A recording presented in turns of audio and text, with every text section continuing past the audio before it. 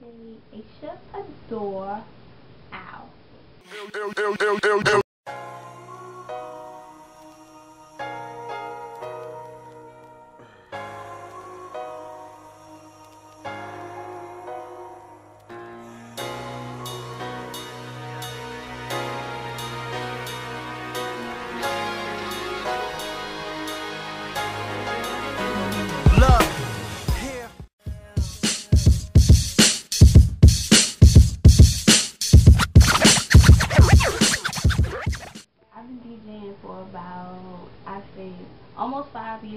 It's really been almost five years. Since I was little, I always used to, oh, my mom used to keep me in the house all the time. She, um, she always used to keep me in the house, like, away from a whole bunch of the crazy stuff outside, because I was raised in Park Heights. And, um, I mean, all I all I really had was music to listen to. So I would listen to the radio, and it got to the point where I used to criticize other DJs that were mixing on the radio, like, oh snap, why didn't he play this or why didn't he play that? And um, so I mean, I never really put two and two together. Like, oh, I should be a DJ so I could do this. I always knew I wanted to work with music. I used to sing when I was little. I used to write. Um, I used to try to rap, attempt to rap, but it never did really work. I got older, and the first the first party I went to was when I graduated from high school. That was when I was allowed to go out. I was on the cusp of 17 to 18. And when I finally went out, I met DJ Big Nasty, and I was just, you know, watching what he did and and just paying attention to how he really mixed and um, it was it, was just crazy how everything worked out because I met MVP Big D a little while before that, which made me go to that party. I got put on as a promoter, and I watched Nasty, and I mean, you know, like watching him it was like, wow. I'm like, this is what I want to do. Really. Being a female, I would say, it, it, it is hard. It's really hard. It's, it's harder than people really think it is because it's like a gift and a curse, you know. Um, being a female, you know, it's in a male-dominated industry. It's like um, when you go for others, especially if you're working in a game, if you go for others and asking for help, or you know, like, you know, like, you know, guidance or whatever, it's like, you know, they want something in return. So it, it is hard. It is hard. So it's like, for the most part, if I, if I didn't have Natty or you know, like L or Rod Braxton, Red, J Rock, six nine five, you know, um, if I didn't have if I didn't have them, I don't know, you know, what I'd do for real. So don't don't be gullible.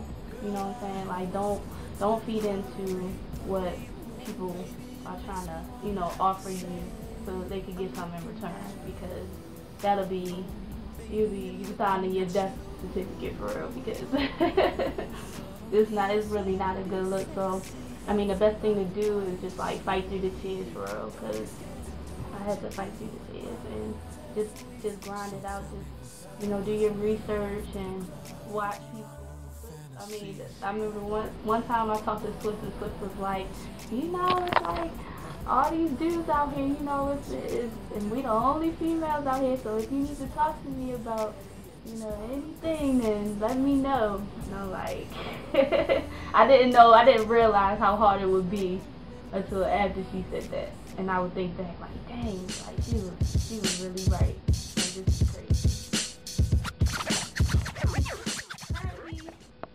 I'm working at the radio station, 95.5 WPGC in PG County, DC's number one radio station, number one. Um, I'm I'm doing I'm working on like a million mixtapes. Um, a million. I'm actually supposed to be scheduled to do one today. Um, you know, shooting photos, doing photo shoots for you know upcoming clothing companies and um I mean just just really like trying to put my get my face out there, like trying to create a brand more so. Big Tigger for you know like like actually seeing Blues in me because I met him at a party. He's got he he seen how I mix. He introduced me to people. Like who'd have thought I'd have been on 95.5 because he didn't know I was even going to be on 95.5. I want to thank my 95.5 fam. Um, of course my Street Jocks fam. Your Goodfellas, MVP, BB. Big Nasty, they my two big brothers, I love them to death. Um, there's just so many people. DJ 695, um, DJ Reds, Big L, who I'm coming for by the way. just wanna let him know that. Um, Rod Braxton, Rod Lee, um, Black Star, thank you for giving me the opportunity to tour with her. Um, so many people. There's just so many people. I can't even think. DJ Sean, he helped me out a whole lot. Um, dang, dang man, I'm so sorry. I, I know how people feel when they be like, if I forgot you, I'm sorry, but nah, really, y'all, I really did forget. Like, it's just so many people. My friends, J Poet, upcoming rapper, um, you know, Kat Monroe, she's like my stylist, my best friend. Um, Kaylee in Atlanta, all my Atlanta people, like uh, DJ Dimples. It's crazy. It's just so many to name because um, it's it's so many genuine people that do want to help. It's so many people that want to help, and they have been helping me, and they still continue to help me to this day.